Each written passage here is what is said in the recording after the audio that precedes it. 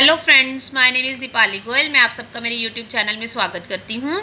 आज हम class plus two का जो सब्जेक्ट फिजिक्स है, उसका चैप्टर थर्ड है डिस्पर्शन जो यूनिट ऑप्टिक्स का है, उसमें हम जस्ट आज स्टडी करेंगे प्रिज्म क्योंकि पहले हम प्रिज्म के बारे में डिफाइन करेंगे, फिर उसके उसके रिफ्रैक्शन उसमें रिफ्रैक्शन कैसे होती है, उसको हमारी, मेरी नेक्स्ट वीडियो में हम उसको भी डिफाइन करेंगे एक्सप्लेन करेंगे। ओके सो पहले हम प्रिज्म देख लें कि प्रिज्म क्या होता है।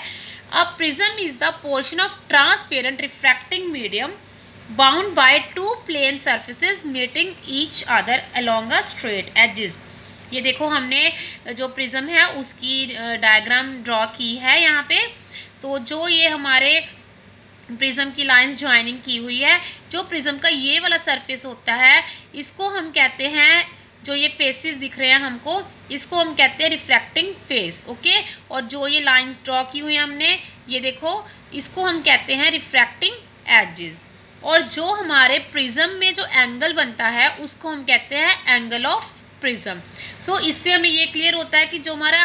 प्रिज्म होता है वो रिफ्रैक्शन शो करता है. सो so, हम जो रिफ्रैक्शन बाय प्रिज्म होगी वो हम मेरी नेक्स्ट वीडियो में डिस्कस करते हैं okay okay? So thank you friends अगर आपको मेरा वीडियो अच्छा लगा हो तो प्लीज़ इसको शेयर सब्सक्राइब